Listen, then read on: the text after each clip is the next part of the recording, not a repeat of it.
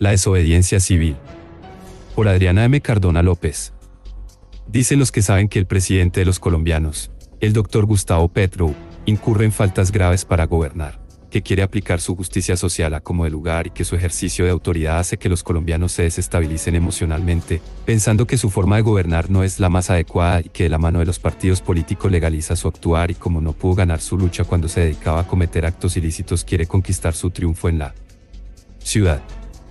En Colombia no existe un líder político de verdad, con gallardía y honor que convoque con firmeza y en el marco de la ley, que aún está a favor de la sociedad que no comulga con las políticas de Estado de este gobernante, que nos tiene sometidos a sus propios. Pero existen ciudadanos que no siendo perfectos en materia política podrían unir los partidos políticos y a la sociedad en general. Como en la época de Gandhi nos obligan a recordar qué es el poder y qué es el conocimiento en una versión mejorada ya que los bandidos en Colombia como las larvas se han mutado y nos vendieron la idea del que se exprese mejor y muy pacíficamente con una lingüística casi perfecta, dicen los que les conviene que ese es el educado. Estamos a tiempo de corregir y regular.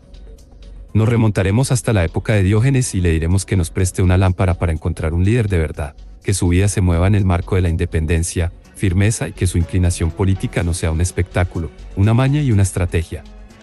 Que nos enseñe qué es la verdadera honradez para que así esa rebeldía y sublevación estén impregnadas de triunfo, como un acto de justicia que hoy debe llamarse la solución, una desobediencia civil.